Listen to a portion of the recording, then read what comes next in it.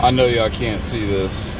I took a drive because River said the northern lights were out, and wow, this ain't gonna show anything. I've never seen them before in my life, and this is freaking epic.